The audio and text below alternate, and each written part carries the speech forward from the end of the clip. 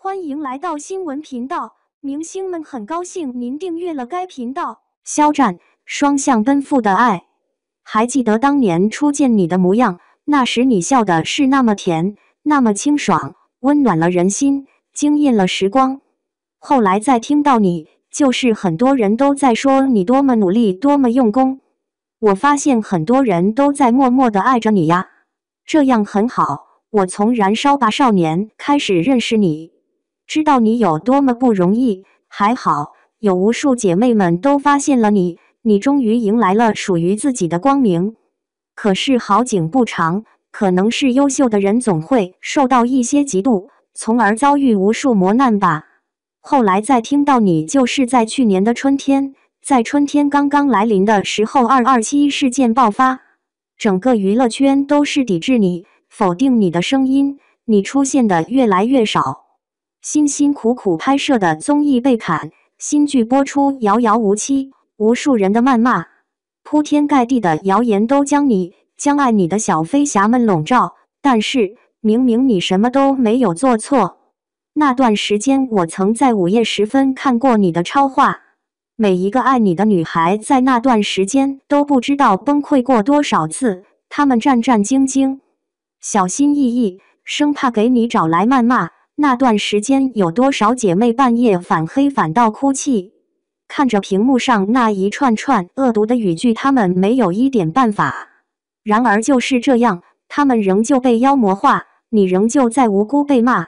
当时我身边好多人告诉我，他们说肖战不行了，他要下去了，被全网黑还能崛起吗？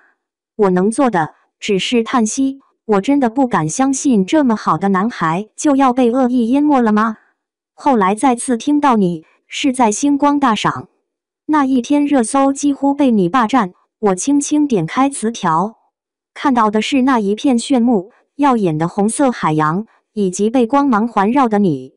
你在舞台上拼命抑制着泪水，笑得那么开心。红海之约是肖战和小飞侠们独有的浪漫告白。每一个红色光点都是对你深沉的爱呀！战战当时已经没有了后援会，每一个去往现场的女孩都不知道自己有没有同伴，她们没有团购，没有确切的消息，有的只是对你深切的爱。在你上台时的那短短，在你闭眼的瞬间，台下亮起一片红色的海洋，无数喜欢你的人惊呆了现场所有的嘉宾。他们用自己的方式宣告对你的爱。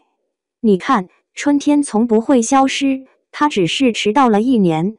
而迟到的这一年，那些爱你的女孩会用他们的热爱加倍送给你。以后每一个春夏秋冬，只要有你在，爱意就不会消逝。所有的美好都会如约而至，所有的爱意都令人感动。昨天冲上热搜的感慨，如梦之梦，抢票艰难，让我笑了很久。我知道这个夏天又可以见证他们热切的爱意了。肖战，未来如此美好，我们陪你一起向前。我们希望看着这个爱笑的男孩走到最耀眼的地方，他真的值得所有人的爱。